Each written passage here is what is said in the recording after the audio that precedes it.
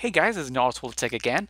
In this video, we're going to learn how we can change the default payment method from credit card to Uber Cash. So in order to do that, tap on the Uber app and then tap on the four lines on the top.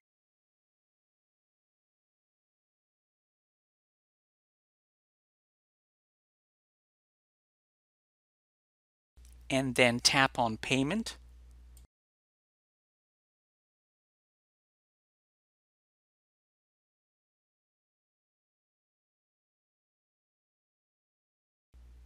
And then tap personal.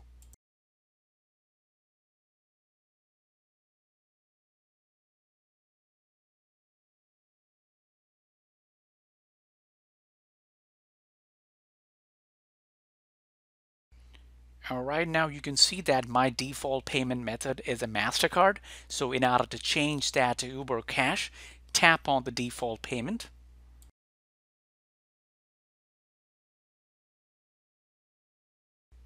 And then tap on Uber Cash.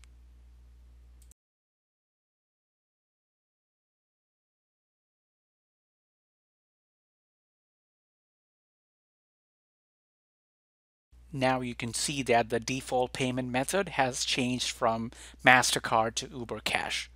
Alright, so that's how you change the default payment method in Uber from credit card to Uber Cash. Thanks guys for watching and if you have not yet subscribed to our YouTube channel, please subscribe to our YouTube channel because we create tech videos almost every week.